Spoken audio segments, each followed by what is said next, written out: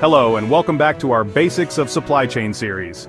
In today's episode, we're diving into one of the most fascinating tools used to understand how supply chains operate and the dynamics that drive them, the beer game.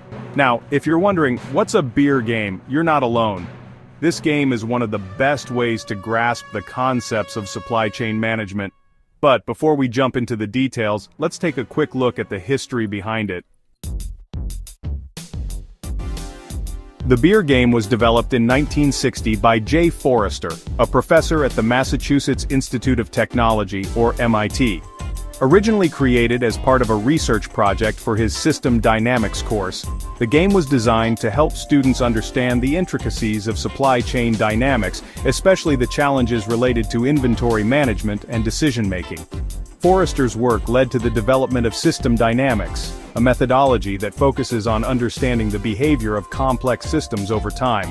And through this game, he introduced one of the most critical concepts in supply chain management, the bullwhip effect. The main objective of the beer game is to demonstrate how small fluctuations in demand at the consumer level can cause massive inventory swings across the entire supply chain.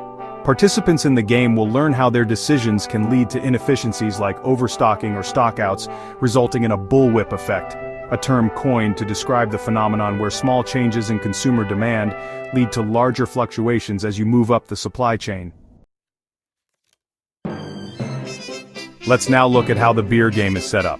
The game is usually played with four teams, each representing a different stage in the supply chain. The roles are divided as follows. 1. Retailer the person responsible for receiving customer orders and sending products to the customer. 2. Wholesaler, the middleman who receives orders from the retailer and places larger orders with the distributor. 3. Distributor. This team handles the movement of products to the wholesaler and places large orders with the factory. 4. Factory. The team that produces the beer and sends it to the distributor based on incoming orders. Each team has its own set of supplies, a small inventory, and access to an order book to track their decisions. In the simplest version, the game uses tokens or chips to represent beer cases and a series of time units to simulate delays in shipments. Players work to manage their inventory and respond to changes in customer demand. Here's how the game is played step by step, stage 1, initial setup. Each team starts with a small inventory. The game simulates an order from the consumer, and each team is tasked with fulfilling that order. The retailer may receive a spike in demand, perhaps because of a special promotion. Stage 2, ordering process. As the retailer responds to this demand, they send their order to the wholesaler. The wholesaler does the same, ordering from the distributor, and so on up the chain.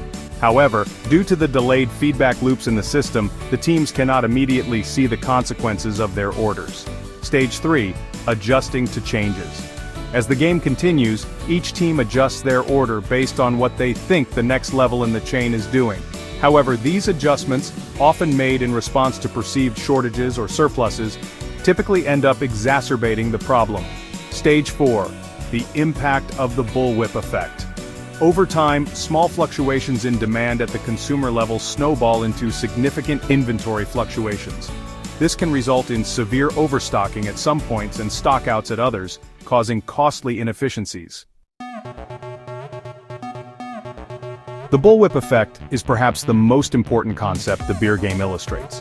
As demand fluctuates, each team makes decisions based on limited and delayed information, leading to amplified demand fluctuations as you move upstream through the supply chain.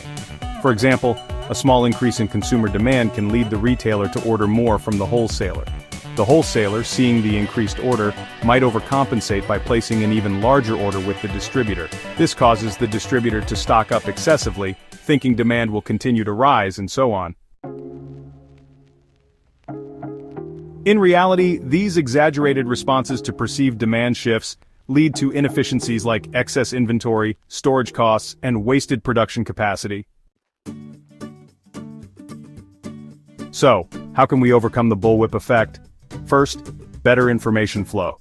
The first step is sharing information across all levels of the supply chain. If every participant has visibility into real-time demand and inventory levels, they can make more informed decisions and reduce the knee-jerk reactions to perceived fluctuations. Next, smarter ordering systems.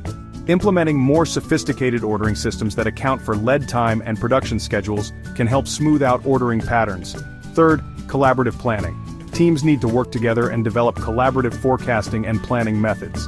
By syncing their operations and aligning with actual demand, they can significantly reduce the impact of demand variability. Lastly, using technology. With modern tools like supply chain management software, artificial intelligence and machine learning, today's supply chains are much more capable of managing fluctuations and minimizing the bullwhip effect.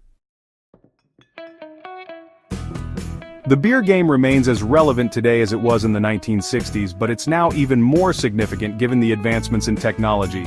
With the advent of technologies like cloud computing, Internet of Things and real-time data analytics, supply chain managers today can track inventory and consumer demand with much more precision. These technologies facilitate faster information flow, reduce the risk of overstocking or understocking, and help companies make quicker, more accurate decisions. Moreover, integrated systems allow for better forecasting and collaboration, which can minimize disruptions and reduce costs. Something that Forrester likely couldn't have imagined when he first created the beer game. So there you have it. The beer game is a timeless tool that helps us understand the complexities of supply chain dynamics, from inventory management to the bullwhip effect.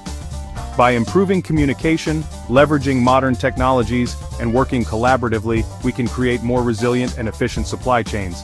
Thanks for watching today's episode of the Basics of Supply Chain series.